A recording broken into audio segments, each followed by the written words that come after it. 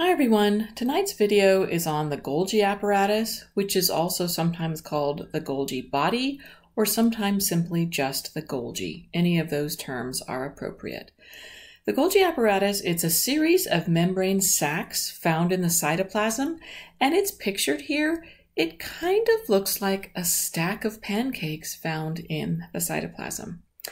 The function of the Golgi is to modify proteins that are destined for either secretion outside the cell, insertion into the cell membrane, or to be placed into an organelle called a lysosome, which is going to be the subject of a future video.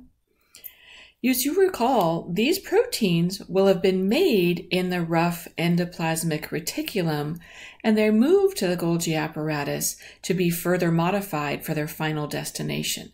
So let's look a little bit at that process. Um, what part of these proteins is going to get modified? So again, these proteins were made in the RER, and if you recall, in the RER, sugar units were added to the ends of the proteins, and therefore it became a glycoprotein. These sugar units, once they get to the Golgi apparatus, are either lengthened or shortened, or other functional groups could be added. They could be phosphorylated, or they could have a methyl group added. In some way, those sugar groups on the protein that were originally made in the RER are modified in the Golgi.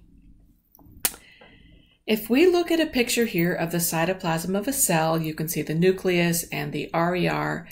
Proteins that are made in the RER are put into what's called a transport vesicle to transport them to the Golgi. Transport vesicles will also be covered in a future video. Once these proteins, which are of course glycoproteins, reach the Golgi, they reach what's termed the cis face of the Golgi. So the Golgi does have sides. They are put into the lumen or the center of the Golgi, where there are numerous enzymes that can either shorten or lengthen or just modify these sugar units inside the Golgi.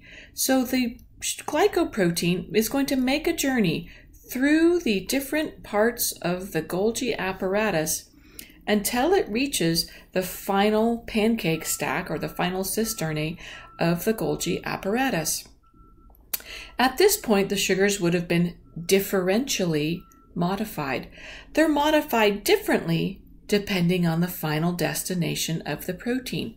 So in this way, you can think of the Golgi apparatus as a shipping and sorting center. Think of it as FedEx or the post office.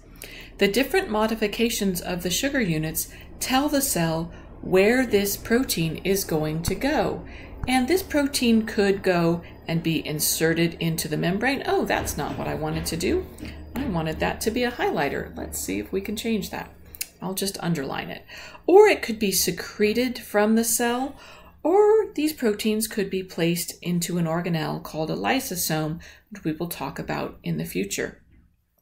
So in this way, I want you to think of the Golgi apparatus as the shipping center and the sorting center.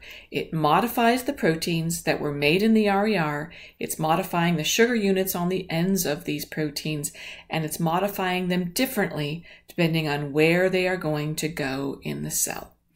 So thanks for listening. You should have all of this in your notes and in your organizer for your organelles.